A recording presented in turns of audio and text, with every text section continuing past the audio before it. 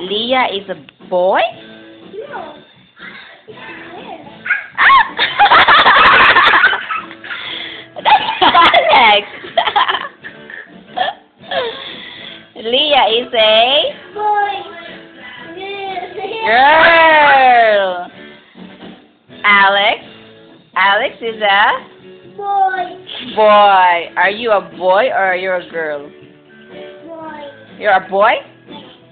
What's your name? Venard. Jed Venard. What's your family name?